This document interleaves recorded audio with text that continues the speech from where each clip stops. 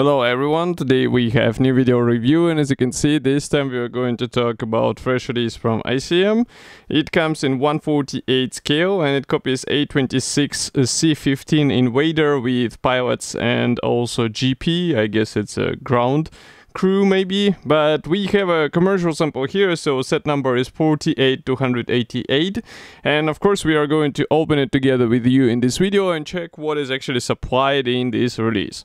So first of all, I have to know the box art here, it is as nice as all recent reviews uh, we we've been encountering the ICM kits. So here, as you can see, it's uh, almost a painting. It would be cool to get it as a um, maybe some poster to put it on your wall. Here you can see comparison with my hand, so I would say it's a typical size for ICM 148 scale kit and it's the same size of the box as previous A26 Invader releases from the same brand.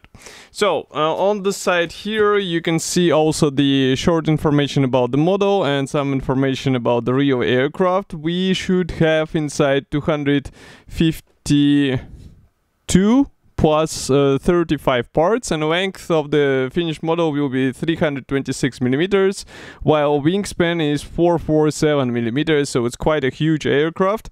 And on the opposite side you will find uh, two marking options which are supplied here but we will talk more about them when we will be checking the assembly manual because it will be shown there as a marking guide. And just like any recent release from ICM. This one is sealed with a tape, so that's why I will have to cut through in order to open this box. As you can see, the top cover is actually attached with this tape, so that's why you won't be able to open it and check the parts which are hidden inside. Obviously, some modders won't be happy to hear this because it prevents them from checking whole kit, but there is nothing we can do and if it is cut through when it arrives to you it means somebody was opening this box before you obviously. And it's a good idea to ask seller why it was actually opened especially if you are getting in some uh, model shop. That's why I always recommend to get it in Modelimex because Modelimex are quite reliable and quick and they always have these novelties from ICM uh, let's say faster than other shops on the market so I'm almost done with this seals here as well. Let's close the knife. As for the box structure, as you can see, it's typical, but I guess we would have now a bit of uh, issues with removing the top cover because usually with the thick boxes from ICM it's really difficult to remove. So as you can see it's flexible, it does not provide any protection at all and this white cardboard box it actually uh, preserves all parts intact and here is what we have inside. So all frames are packed into the same plastic bag. As you can see we have separate plastic bag for figurines and we will actually start with them because they were on the top so we won't be let's say checking some other stuff. We will be starting from the top to the bottom. So it's a resealable plastic bag. It should be easy to open just to remind you, we are dealing here with figures in 148 scale, and that's not such a popular genre for uh, figurines. That's why it's even better to get them here out of the box. And I would say the parts design is somewhat similar to what we are used to see in 135 scale, so if I zoom in, you understand what I'm talking about. And here we should have, I think, one, two, three, four, five figures, even six as far as you can see. So let's zoom in and check this corner first. Uh, first thing you can notice that there are no guiding elements whatsoever, so you will have to be careful while joining all this stuff together, because in some places it might be a bit tricky to get the smooth connection between these arms and body. But overall, uh, sculpting of these figures, it looks really great. Here, if I flip it over, you can see that again, we do not have any guiding elements whatsoever. And for the sculpting, as I said, the scale is not that huge, so maybe it would be a good idea to bring it out with help of painting techniques, so that all these features won't get lost on your figure. Next I'm opening another plastic bag, so excuse me for the plastic bag sounds, let's say. Let's remove this one from the table. Place this plastic bag here. And we start again from the top. So, first sprue here is obviously bigger than what we had for figures, and this one is dedicated to wing parts, so each side of the wing should be glued out of two halves. We have separate wing mechanization, and external features are typical for such kits. It means recessed panel lines and rivets, they're all here, so it's just a matter of uh, maybe underlining them with help of shading techniques, maybe with help of washes. Note that engine gondolas are also provided as separate two-piece assemblies, so be ready for this. And as far as I remember, this kit is, um, let's say, accompanied with really nice engines. So it would be a shame not to expose one of them because uh, it is really great thing for 148 scale and you will see it further in this video. But now we are going to talk about this fuselage house. So both are molded together with tail fins, but without rudder and without nose section as well. So if I zoom in, you can see that here we have again recessed panel lines and rivets. In 148 scale it looks nice, but it's not such a deep, let's say, features and you have to be careful with paint layers and primer. Here you can also take a look at the internal features which are pre-molded so these are interior structure and it should look great if you plan to open the door or maybe to do some cutouts on the aircraft. It will be up to you if you are uh, let's say eager to perform such modifications on your model next we continue with some minor parts necessary for today's version. So as you can see, there are some changes for the cockpit, also some changes for the fuselage and the wing parts and everything looks nice. So it's the same molding quality. It's not something different because it's supplied as an extra so there is nothing to be worried about. Next we continue with a clear plastic sprue. So this one is supplied in a separate plastic bag in order to avoid any unnecessary scratches and molding quality looks nice. In previous releases, ICM was also supplying the mask templates. I wonder if this one is also including the uh, masks templates because it will be a really handy addition. In the worst case, you can get the aftermarket set from Eduard. It will just be easy to apply on your model because it's already pre-cut masks ready to be used with this exact kit. Next we have two identical plastic frames which are dedicated actually to the engine part so here I would like to zoom in first and start with this one piece propeller. Next we continue with some engine gondolas parts and engine themselves. So it's one of the engines because as I said, this sprue is supplied in two pieces. Note that the frontal section of the engine gondola is made as a single piece part, so it's really great, you won't have any gaps or seams in this area. We also have bombs here. And next we continue with more parts for the engine because it's a twin star as far as I remember, so that's why we have so many parts.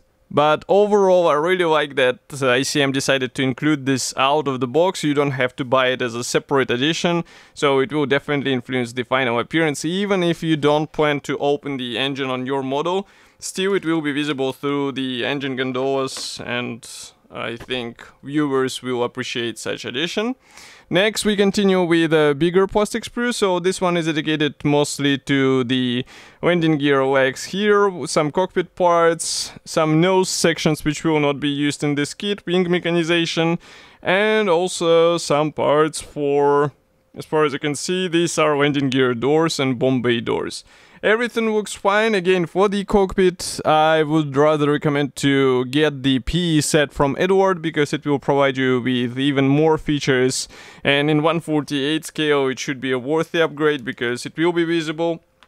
And next, we have another gray plastic sprue. So these are uh, wing halves for another side. We also have these bulkheads which will be actually holding the wings from both sides. But I would rather use also some metal rod in order to reinforce the whole structure because the 47 centimeter wingspan is not a joke and that's why it's worth thinking how to get the more or less rigid structure, let's say. Next we have landing gear wheels, so they are given on two plastic sprues. These are uh, main and nose landing gear wheels. And as you can see, they have guiding elements inside, so they should be easy to combine together. But again, if you would like to have a really nice result, it's better to get the resin replacement. In this scale, again, it will be noticeable because as you can see, these wheels are not small. So they are visible even on the finished aircraft. And there is one more clear sprue so this one is dedicated to the nose section canopy. As you can see we have this really nice top part.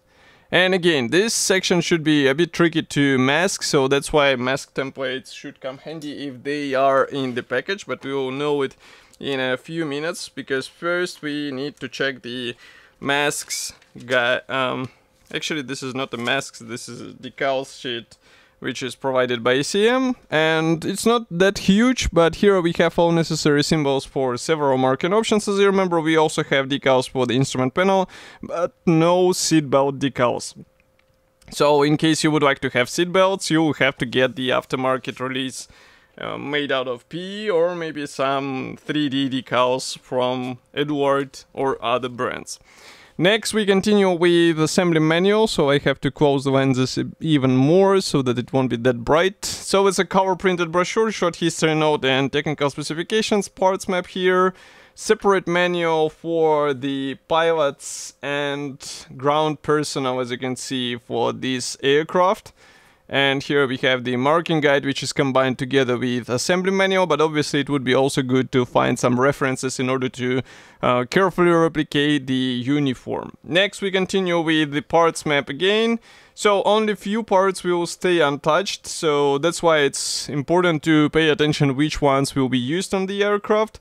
And assembly process starts with the cockpit, we assemble also bomb bay, and all this thinks they are going inside the left fuselage half. And as you can see then we start working on the right one. And then I guess we will be joining them on the next page. So just give me a second. Yeah here. Yeah so we are joining them together start building the tail wings and rudder.